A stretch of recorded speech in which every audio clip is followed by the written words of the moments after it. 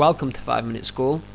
In today's video I want to discuss chylomicrons. We mentioned it briefly in the previous video so in this one I want to go into it in a bit more detail. So here we have a simplified drawing of a chylomicron and we can see the inside of the chylomicron is high in triglycerides and there's also a low amount of cholesterol as well.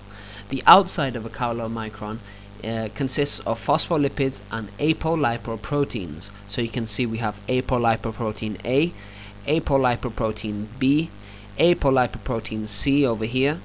I don't know if you can see. Yeah, apolipoprotein C, and we also have apolipoprotein E. So the chylomicrons are one of the five major types of lipoproteins. The other four types are very low density lipoproteins, intermediate density lipoproteins, low density lipoproteins, and high density lipoproteins. I'm going to be making a separate video on these other types of lipoproteins, so be sure to subscribe to the channel and then you'll get a notification when this video gets released.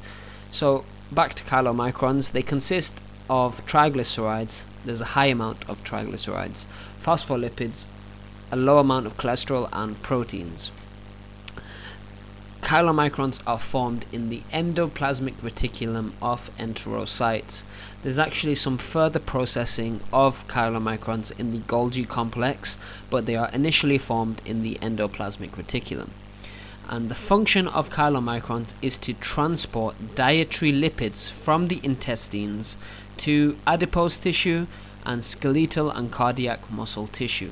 So the whole point of a chylomicron is to transport the lipids that you eat from your diet from the intestines to other parts of the body. And once it's at the target tissue, the high content of triglycerides in the chylomicrons are hydrolyzed by lipoprotein lipase and then the free fatty acids formed are absorbed by the tissue. So another point I want to make is because lipids can't like travel through the bloodstream because the blood is pretty much water based, we have chylomicrons to help transport these lipids. So um, initially what happens is the chylomicrons are released into the lymphatic system via the central lacteals and then from there they are I think absorbed through the thoracic ducts and then following this they enter the bloodstream and from here they can be um, transported to adipose tissue, skeletal and cardiac muscle tissue. So the overall function of chylomicron is to help transport the hydrophobic lipids from the intestines to um, adipose, skeletal, and cardiac muscle tissue, initially through the lymphatic system and then into the bloodstream. And it's just a way for the body to transport dietary lipids, um, as lipids themselves are hydrophobic and can't be transported on its own through the water based blood.